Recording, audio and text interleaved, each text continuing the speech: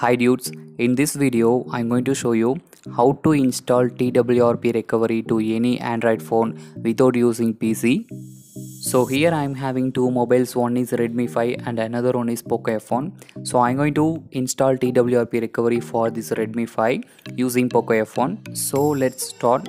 Go to settings and about phone, tap MIUI version more than 7 times to get developer options in your settings.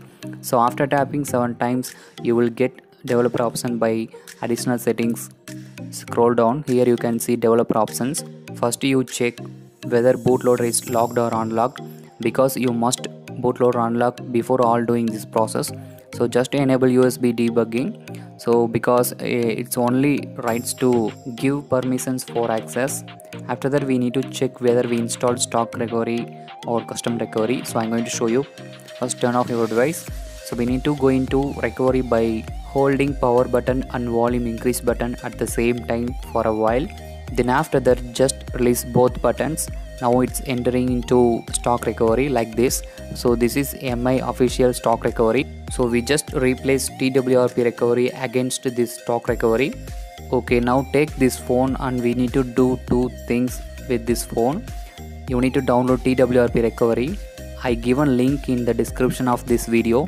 Just download the twrp recovery and create one folder in, in your phone storage and move the file to that folder because it's easy to find while doing the process. So here like this. So after that you need to install bugjaeger app from google play store. So go to play store and type b-u-g-a like that b-u-g-a this one.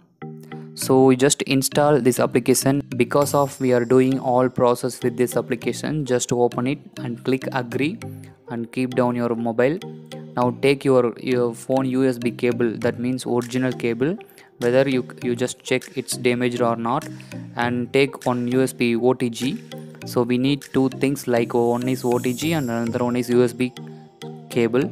So you just connect like this then plug the pin to this redmi 5 once again make sure the cable is stable because uh, we are not interpreting the process. That's why.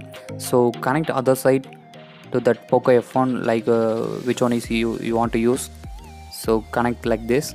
Okay after connecting both devices you need to give permission to proceed. So whenever it asks so here you can see device is connected.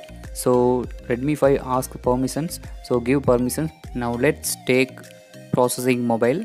So in this application you need to go lost options by swiping. So here you can see reboot bootloader just tap it. After tapping redmi 5 is going to fast boot mode.